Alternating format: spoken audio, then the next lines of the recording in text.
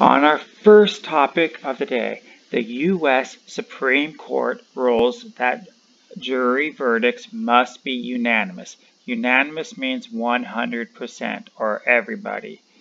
And there is a reason this caught my eye. But first, let's get into the story and then I will explain it.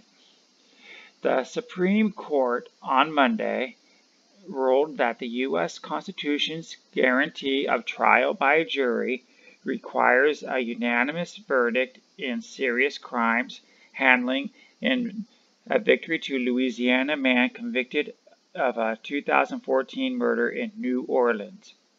The court's 6 to 3 ruling means that Escalaro Romeros, who was convicted on a 10 to 2 vote of the 2014 murder of Terrence Filson, whose body was found in a trash can will likely get a new trial.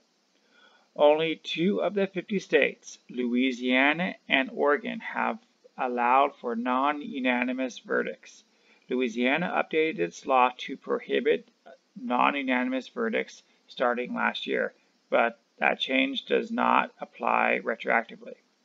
Ramirez was sentenced to life in prison without the possibility of parole. Okay, and this is why this actually, um, that's actually meant something to me. Because you heard how it affected two states, Louisiana and um, Oregon. Now, I listened to um, Crime Podcast, and they had a podcast on about a month ago. And in this one was Oregon, and the guy, the jury was actually 10 to 2. So he did go to jail, and then he did get out off of a new evidence, DNA, that came years later. But that's when it became aware to me that it was not 12-12 for all 50 states. So I am glad that this is being applied among all 50 states now, and everybody will get a chance for a free trial. So I have a question for you. My question question for you. How are trials handled in your country? And what standard is a jury held to? Does it have one or is it just a judge?